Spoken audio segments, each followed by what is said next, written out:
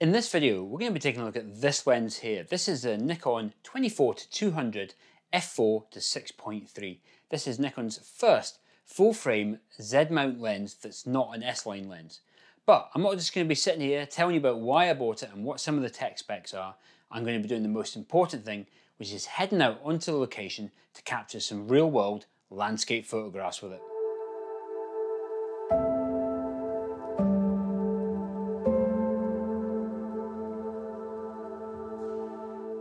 Right, before we head out on location to capture some landscape photographs, let's talk about some of the technical aspects of this lens. Now, as I said at the beginning of this video, this is Nikon's first lens for the Z-mount, first full-frame lens for the Z-mount that's not an S-line lens. But what is an S-line lens? Well, basically put, it's Nikon's kind of superior line of lenses. So you can expect the absolute best quality that Nikon can offer. So you'll get things like minimal focus breathing, you'll get nano crystal coatings, and generally speaking, they're designed for high resolution cameras. So you can expect the absolute best image quality, and you can also expect the image to be sharp all the way out to the corners. But this is not an S-line lens. So what are you missing out on? What are some of the differences? I own two S-line lenses. I own the 14 to 30 f4 and the 24 to 70 f4. Now, this lens, being a non-S-line lens, does differ slightly. First of all, it wouldn't have those nanocrystal coatings. And second of all, it's actually a variable aperture lens. So my S-line lenses are both all constant at f4, but this goes from f4 to 6.3. But this isn't necessarily a deal breaker for me. It might be for some people, depending on the things that you shoot. But for landscapes, I'm often going from f8 down to f11 down to f13. So the variable aperture aspect of it doesn't really matter to me. Couple of cosmetic things though. This actually has a lock switch. So for the zoom barrel on the S-line lenses, you just close it and it clicks in. This one actually has a physical switch to stop that coming out. But I've never had a problem with the, the zoom coming out on its own. So I'm not going to be too worried about that. One thing that it is missing that I think I might miss is the AF-MF switch. So this would allow you to switch it from automatic focus to manual focus on the barrel of the lens. To do that on this lens, you have to go into the camera and change the setting. And one last sort of cosmetic thing, obviously it doesn't have an S-line badge, but the text here is actually printed rather than sort of engraved or bossed. So maybe just a slight, okay, not, not reduction in quality, but just to kind of differentiate you between uh, an S-line lens and a non-S-line lens. But I still expect this lens to perform really well. I bought this lens for a number of reasons. So the size, weight, versatility, and focal length. Let's talk about focal length first. So currently I have a gap in the focal lengths that I like to use. My 24-70 only obviously only goes up to 70 millimeters. And I sometimes, I miss the kind of having that 70 to 200 f2.8 that I had in the old F-mount system gave me a longer reach, which is quite good for doing certain types of landscape photographs and sometimes useful for doing panoramic images. Now there is a 70 to 200 2.8 for the Z-mount lens, but I no longer have a requirement to have a 2.8 lens. Plus the cost of that lens, well, it's not within my budget. I, I can't justify the cost of that lens. And unfortunately, there's no f4 version on the horizons. There's nothing in the, the roadmap. The roadmap's still quite limited. So to cover that kind of reach over and above 70 millimeters, that's why I've gone for this 24 to 200. So even though it covers uh, the 24 to 70 that I've already got, I'm really looking to use it over and above the 70 millimeter range. And the other reason that I bought this lens is because of its size, weight and versatility. And why it's going to be a good lens is it's for those times when I only want to take one lens out. So for example, I want to go hill walking and I want to really reduce the amount of gear that I take being able to take one lens out that covers a focal length of 24 to 200 millimeters is going to be really useful. It's kind of small, it's lightweight, so it's not going to weigh down my bag too much. Plus, I'm not going to have to change lenses out in the field. Now, it's not going to replace my 24 to 70, but it could be a good option for when I want to be out in the field uh, with a lighter kit bag. It very much reminds me of the First lens I bought for the first Nikon digital SLR that I bought, which is a Nikon D80, I bought the 18 to 200 and I got great use out of that lens as well. So I'm hoping to do exactly the same for this one. I expect to get a good few years of use out of this lens and, and hopefully I'm not going to miss any of those S-line specific features in it.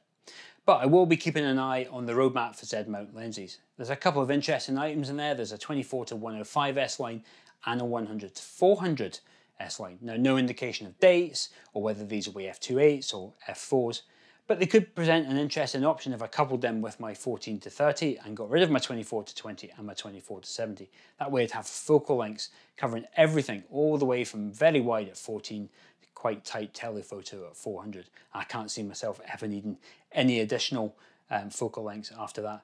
But who knows when those lenses are coming out? Who knows if they're even going to be affordable or whether they're going to be big or small? So it's just all conjecture. But it is a constantly evolving landscape when it comes to Z mount lenses. Right, that's enough technical chit chat. I've had enough of being indoors. It's time to put this lens on my Z7 and head out on location to capture some photographs. No better way, no better test of a lens, and that's to actually go on location and capture some landscape photographs. Good morning and welcome to Dartmoor. Let's capture some landscape images with a 24 to 200.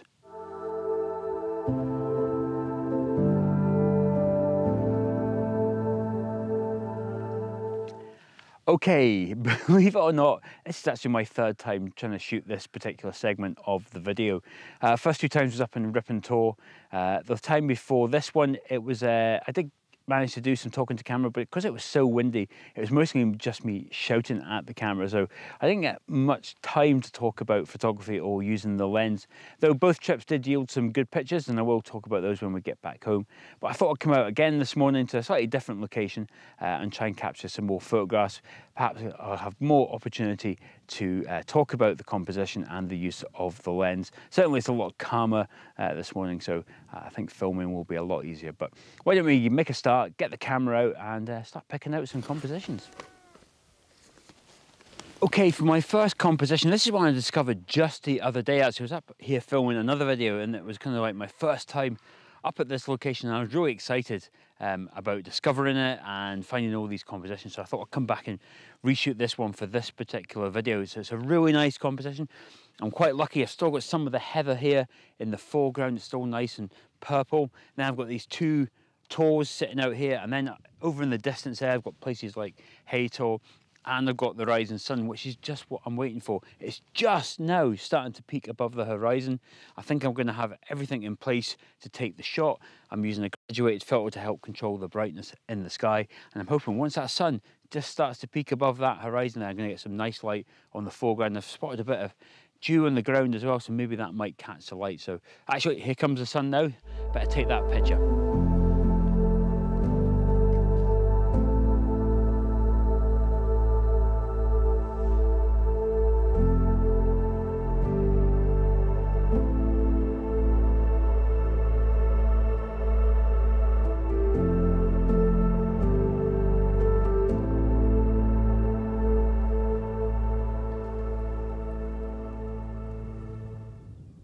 Well, one thing's for sure, landscape photography is not easy.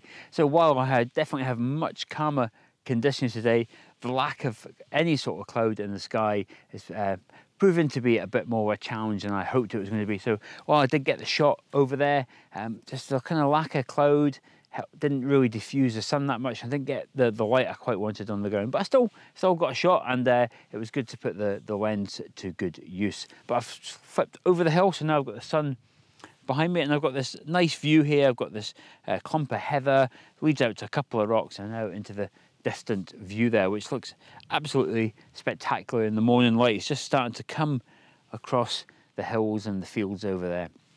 So I put the camera in the vertical orientation because I want to try and get as much of this heather in as possible. And I'm also uh, never be scared to put the ISO up a little bit. So I've got to I think about four or 500 at the moment. This is to give me a, a faster shutter speed because even though there's a gentle breeze, that heather's just moving a little bit and I want to try and freeze it. I don't want to get any blur if I can possibly help it. And I'm still using the graduated filter there on that rather blue sky. But I think it's a nice scene and uh, one worth taking.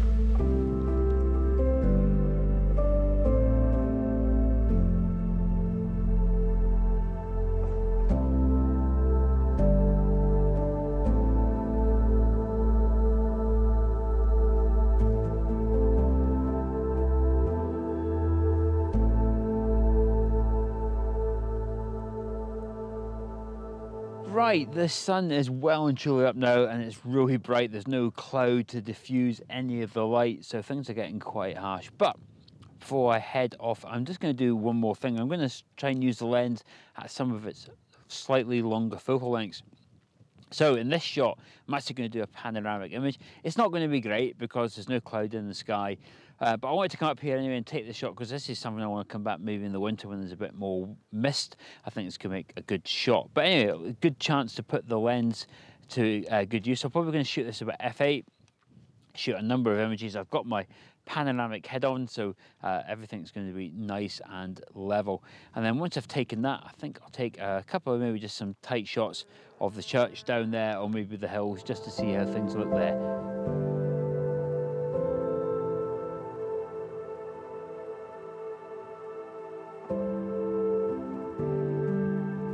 Okay, with a panoramic image shot, I think it's just about time to uh, pack up and go. I'm just going to take some sort of long lens landscape shots at the moment. Again, nothing going to be spectacular, but useful to try the lens out at its longer focal lengths in addition to doing the, the panoramic image. But so far, it's been performing quite well. Looking at the back of the screen and some of the images that I took the other day, they're looking pretty good. I have noticed a couple of things, maybe compared with the 24 to 70, but I'll go home and I'll show you those. And also, I'm going to do the most important bit, which is print some images. It's all very well pixel peeping at three to one, uh, looking for things, but what's important to me is how the image looks when it's printed out. Um, but you know, it's been a beautiful morning up here, you know, and it's, it's definitely getting colder. I can uh, feel the chill in the uh, chill in the air. But what a better way to start the day than to watch a sunrise on Dartmoor? Absolutely magic. I'll see you back there.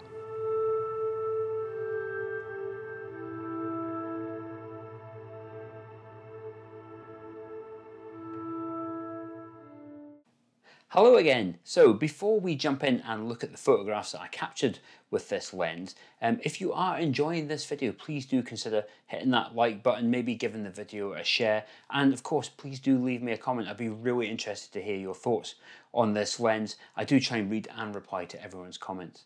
And if you do want to see more content from myself, please also consider hitting that subscribe button. And if you do, or if you're already a subscriber, remember to click on that little bell icon that way you'll receive a notification as soon as I post up a new video. But let's have a look at these photographs. Right, let's take a look at these photographs in Lightroom. But I'm not going to spend a huge amount of time in this. Um, I'm not much of a pixel people. I don't spend a lot of time looking at my images at 2 to 1 or even 3 to 1. I look at them on the screen or I make prints. And that's how everyone else views my images. No one else actually views them at 2 to 1 or 3 to 1. So as long as the overall quality is suitable, that's all I'm really interested in. And even if I was to show you 3 to 1 magnification, you're watching this on YouTube, you're probably watching it on a mobile phone. You're just not going to see the level of detail that I see from my computer monitor. But I've got a, hopefully a nice selection of photographs to show you. I've already made some prints as well, so I'll show you those later as well. But why don't we jump into Lightroom and have a closer look. Okay, here are the photographs that we're going to have a look at. You'll notice that a couple of them are exactly the same. Uh, this is because I've actually got some side-by-side -side comparison shots with the 24 to 70 as well. Um, so we'll have a look at those side by side and we'll have a look at maybe some of the differences in the image quality between those that were shot with the 24 to 200 and those that were shot with the 24 to 70. So have a look at this first image. This was taken on the top of Rippon Tor. Uh, perfectly fine. I had some actually quite nice light for a change, uh, which which makes for a pleasant surprise up in Rippon Tor. Now, the first thing I will point out is there is a bit of lens flare here. This seemed to be uh, a bit of a well, not a problem for the lens, but it didn't seem to handle it particularly well when you're shooting directly into the sun. I noticed it on a few of the images, and I will be able to do that side-by-side -side comparison with the 2470, which I'll show you in a minute to show you how the difference in the, the way those lenses handled that flare. But overall, absolutely fine. The image is perfectly sharp all the way around, or acceptably sharp, I should say, uh, and it looks absolutely fine. Forgot to say that all the photographs that I took with this 24 to 200 were all shot with my Nikon Z7. Next image you've got here is another one from the, the top of Rippon Tor. Again, everything's looking sharp, all the distant hay Haytor there, all the foreground rocks. You can see the settings I've used up here. So this was shot at f13, ISO 64, everything looks pretty sharp. Nice little bit of light there on the rocks.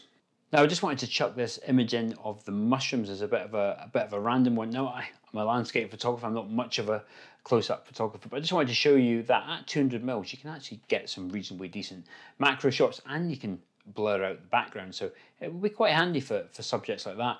I also own a Nisi close-up filter kit as well, so I'll be taking that out and I'm attaching that to my uh, 70 to uh, sorry 24 to 200. So for me, it's going to give me a bit of versatility. So if I do need to actually get a quick macro shot, um, that lens could be proved quite useful with or without um, the Nisi close-up filter. But here we can see the mushrooms there, we can see all the, the backgrounds being blowed out. So just a sort of quick test shot to uh, spot those in the ground. I thought I'd take a, take a shot. Got another shot from the sunrise at Rippon Tor. Again, all the areas being sharp where they need to be. We'll go over here. Again, shot this one was shot at f11. So quite harsh lighting conditions, but it's all turned out quite well. This is the first set of images where I've got side-by-side -side comparisons when I took one with a 24 to 70 and another one with a 24 to 200, both shot I think at 24 millimeters.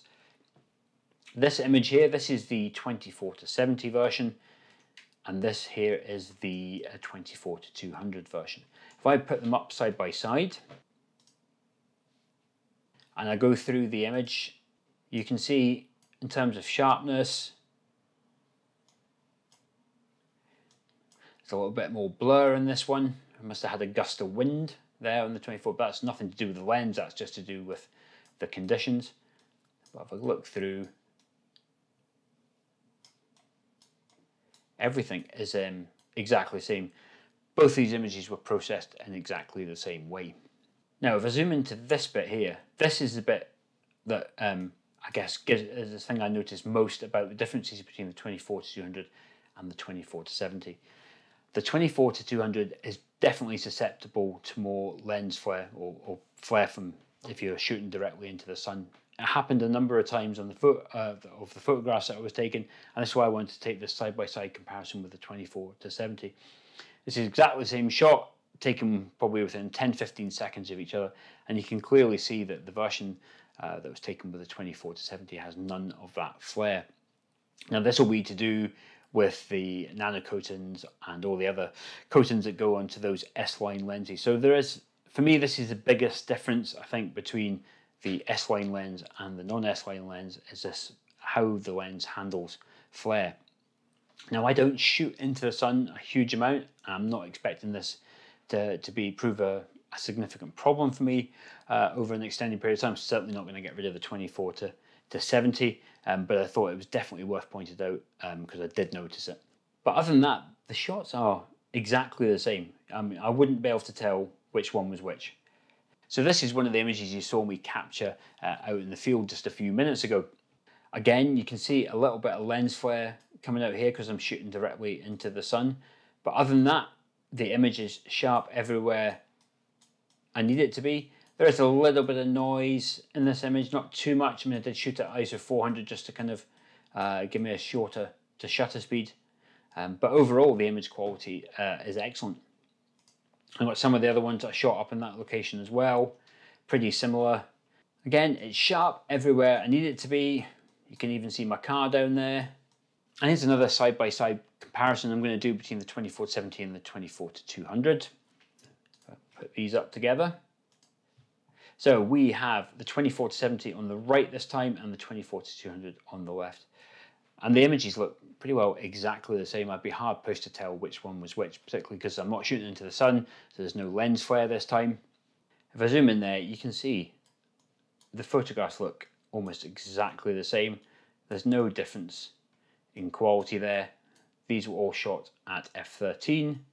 So overall, they, they look exactly the same. I think you, you can only really tell the difference when shooting landscape images is when you're shooting into the sun and the way that 24-7 handles that lens flare. The next image I'm going to show you is this panoramic image. This was all shot at 83 millimeters, so this would have been a whole number of shots, probably about eight or nine. But if I look through there, everything is sharp as can be. This is shot at f8. I can see right down into the village of Widecombe there. I can see the gravestones. So overall, I'm really happy with that panoramic image. This is one of the reasons I got this lens is it's actually long focal length to take me past that 70 millimeters. So talking of long focal lengths, I'll show you this other image. This is the one, um, this is shot at 200 millimeters. We'll have a look at the detail. Again, shot at f8, bags of detail. You can see all the gravestones, all the bits of the tree, electrical cables, cars. Overall, really happy with the image quality of those two photographs. So there we have it. That's all the photographs I'm going to share with you. Hopefully it's given you an idea um, of the quality of the lens. I know it's really difficult because you are watching this YouTube video, so you can't really appreciate the quality, um, you know, YouTube compression and depending on what screen that you'll happen to be watching it on. But I could can't tell the difference between uh, the 24 to 70 and the 24 to 200 shots. They're almost exactly the same. And if you just show me um, a picture, one of these photographs on the screen or print, I wouldn't be able to tell you that it had been shot with a 24-200 rather than 24-70. The only, the only time that I've noticed uh, a real change is when shooting directly into the light and you've got lens flare. That 24 to 70, because of its uh, nano coatings, really handles that a lot better.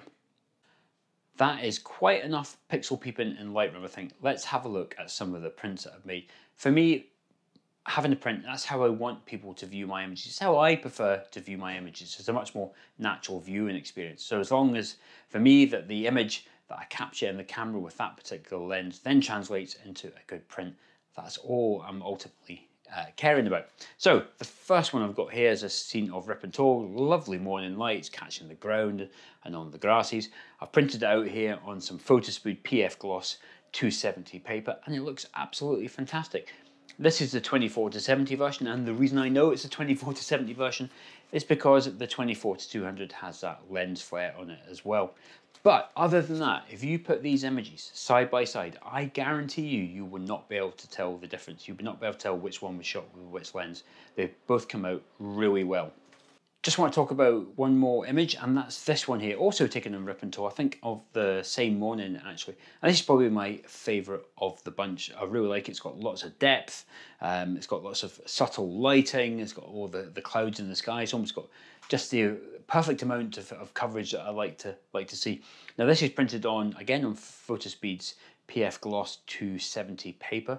But so just in case you think I'm cheating and I'm only printing A4 images and you can't see enough detail, I have, because I like that image so much, made an A3 plus print. And this is printed on uh, Photospeed's Platinum Cotton 305. It's a matte paper and I think the image looks absolutely stunning. The lens has done a really good job of rendering this scene. I can see all the detail in the grasses, all the subtle changes in colour. It's getting to that time of year where things are starting to pick up a bit of brown, bit of yellow, and that's really enhanced with the, the subtle side lighting, which obviously means there's no lens flare because I'm not shooting directly into the sun. A little bit of light there you can see on the rocks, and that leads out into Haytor and this kind of uh, dark and heavy sky. It was kind of one of those mornings where the, the, the weather was quite variable, but I really like the final image. And this is what's important for me, is how it actually looks when you do a big print like this. Now, I've just told you how great I think that 24-200 is. I showed you the images, I showed you the print quality. So this 24-200, is it going to replace my 24 to 70 f4? No. I mean, that's not why I bought it. I didn't buy it with a view to replacing my 24 to 70. The 24-70 still has the edge in certain circumstances. It's a bit of a smaller lens, it's a bit of a lighter lens it also handles flare a little bit better. So it will still be one of my go-to lenses for landscape photography when I'm taking out, you know, my 14 to 30, I'll take out my 24 to 70 as well. But I didn't buy this lens to cover 24 to 70. I bought this lens for me to cover the, the 70 to 200 range and that's what I want it for and that's going to do a really good job. You know, it's got a couple of niggles, the lens flare, you know, if I'm shooting into the sun, which isn't very often for me, is a bit of a bit of a niggle, but you know things like that can sometimes be fixed in post processing.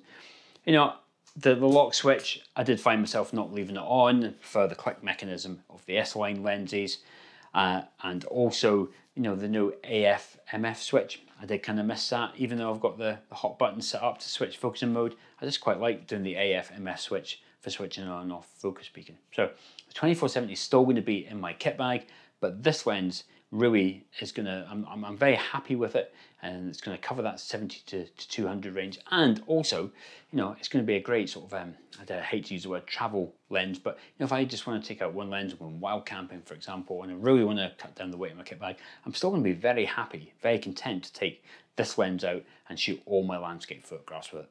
Let's see if we can try and wrap up this video. Let's see if we can do some sort of uh, summary. I guess one of the questions you might have is, should I buy this lens? That's possibly a question I can't necessarily help you answer. everyone's shooting requirements are different. You might be shooting sports or birds in flight, and you know clearly this lens might not be the best choice for that. I only shoot landscapes. I also don't have access to lots of different gear. I haven't got different uh, Z mount bodies. I don't have lots of lens to do comparisons with. I don't shoot test charts.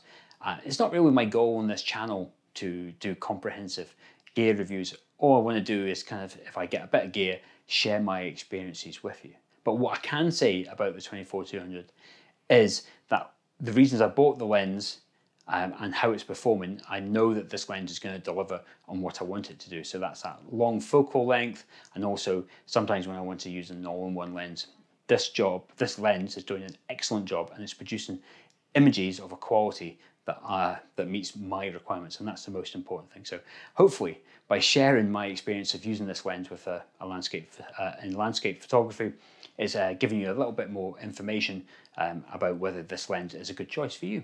I do hope you've enjoyed this video and more importantly you've found it useful. Please do let me know in the comments below. But I spent enough time indoors now talking about gear. I'm actually going to go outside and take some landscape photographs. The weather forecast for Dartmoor is looking good tonight so I'm going to put that 24 to 200 in my bag, head out and capture some landscape photographs. But if you've got an extra few minutes, why not check out some more of my other videos? I'll include some links in the corner of the screen. But until the next one, I'll see you then.